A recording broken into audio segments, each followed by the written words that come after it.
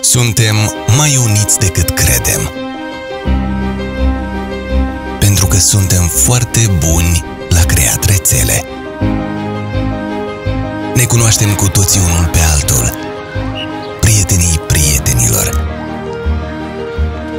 În orice oraș, cineva cunoaște o sută din alt oraș. Vorbim, împărtășim, transmitem salutări, fără să așteptăm. Pentru că viitorul e în rețea.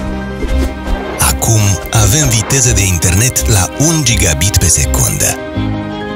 Suntem o țară unită la viitor.